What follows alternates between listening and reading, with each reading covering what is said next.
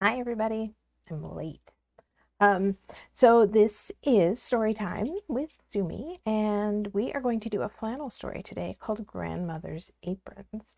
But first, we will sing our hello song. You ready? Hello, my friends, hello. Hello, my friends, hello. Hello, my friends, hello, my friends, hello, my friends, hello. And that was my dog barking hello to you all as well. Uh, let's see. So our story today is called Grandmother's Aprons. Um, I grew up saying grandma and grandpa or kunta and kunyai. So um, I'm just going to say grandma and grandpa for this one. Um, and it is a story about some aprons. Do you know what an apron is?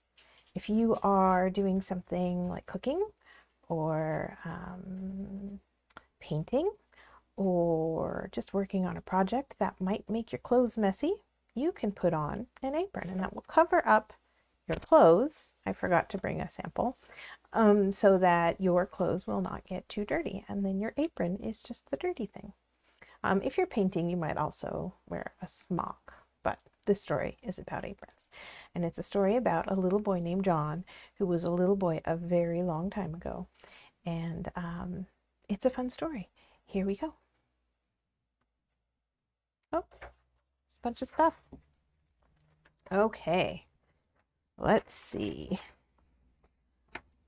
Our story, like I said, is about John. And when he was a little boy, he would go visit his grandparents in the summertime. They lived on a farm in the country. And Grandma would always wear these nice white aprons. Does that look like a white apron? Um, and she wore them all the time. She had a few that were colored, but most of them were white. Uh, one day, when it was raining outside, and John was kind of grumpy because he wanted to play outside and he couldn't, he was complaining. Sometimes he complained. And his grandma wanted him to have a fun day. So she took off her, her apron that was blue with yellow dots on it, maybe polka dots, and she took that apron and she draped it over the backs of two chairs and made a little house for him, like a little chair fort. Do you ever do that? And that day, on that rainy day, inside, John had lots of suns to play under. Even though he wasn't outside, it was still fun for him. Well, the next day, John and Grandma went to go collect eggs from the chickens. Grandma held all the edges of the apron, the bottom part, together so it made kind of a basket because she didn't take her basket with her to get the eggs. So then she put all the eggs in her apron and she could carry them.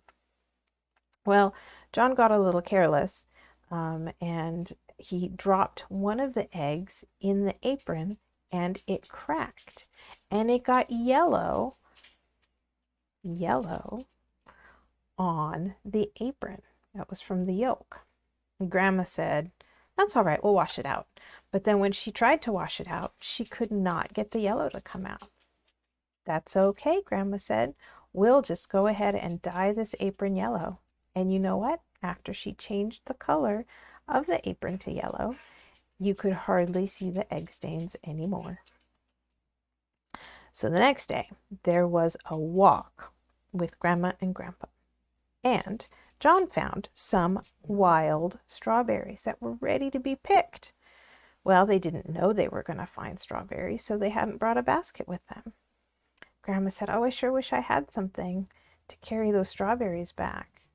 And John remembered the day before about using the apron as a basket. And he said, You have your apron.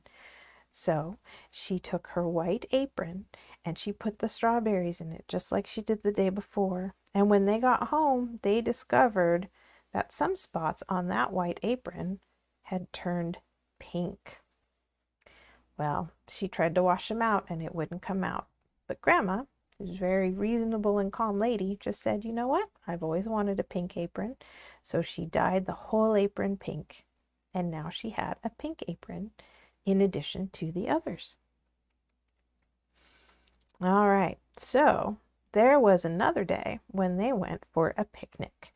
But sometimes they forget things, just like I do, and they forgot their old picnic blanket. Well, Grandma had her nice white apron and she let John sit on it so he didn't have to sit on the wet grass. Guess what?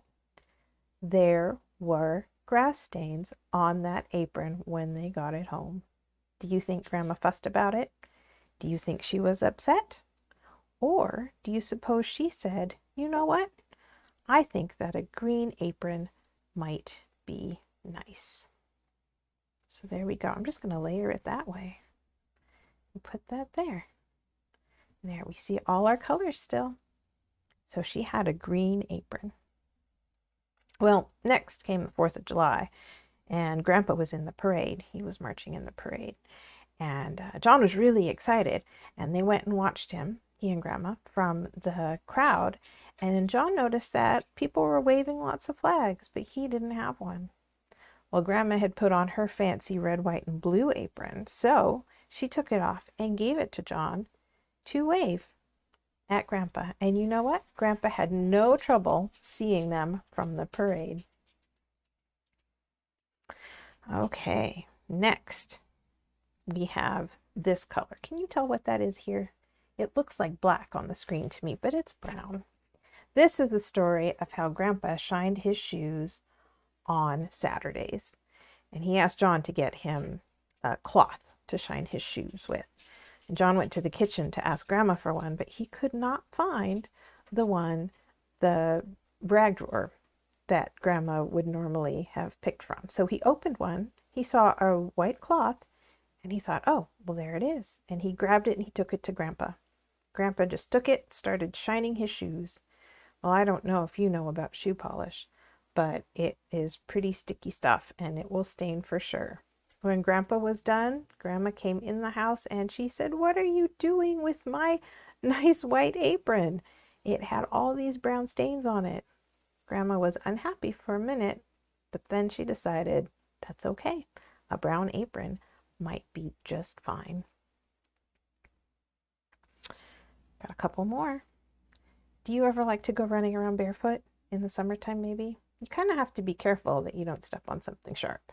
Well, John was running around barefoot out at Grandma and Grandpa's house, and he stepped on something sharp and he cut his foot. Grandma took her apron off. It was a white one, and she wrapped his foot in it. And she carried him inside so he didn't have to walk on his hurt foot, and she cleaned it up and she bandaged it up.